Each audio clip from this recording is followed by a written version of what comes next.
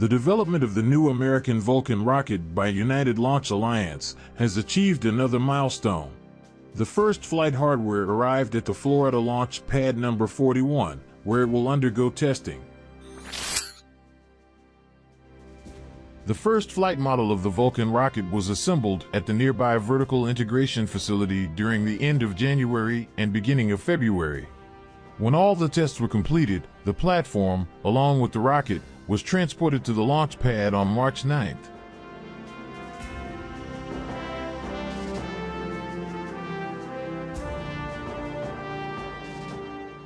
The mobile Vulcan launch platform looks similar to the one used for the Atlas V rocket at first glance.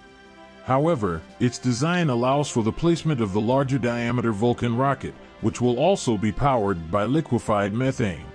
After traveling on the tracks that connect the assembly tower to the launch pad, the platform arrived at its destination.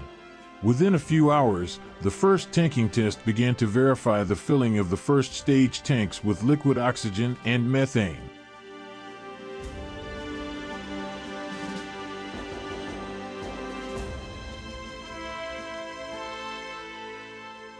Because it is expected that the tests will take a very long time each day, United Launch Alliance decided to prepare two shifts of operators for the entire process. The workers from the first shift are responsible for preparing the test and tanking of the rocket.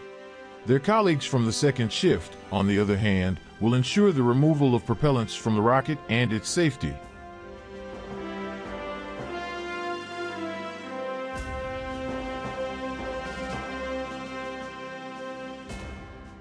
Once the tanking tests on the launch pad are completed, the mobile platform will be disconnected from the launch pad systems. Then, the platform, along with the rocket, will return to the vertical integration facility where the installation of the payload fairing will primarily take place. The first launch of the new Vulcan rocket could come in May. The payload will be the Peregrine lunar lander from Astrobotic, two Kuiper test satellites from Amazon, and a payload from Celestis, which allows interested parties to have their remains sent into space. Thank you for following Spaceflight News. If you've made it this far, we assume that you're really interested in space exploration. In that case, I recommend that you consider subscribing to our channel so you won't miss any new episodes.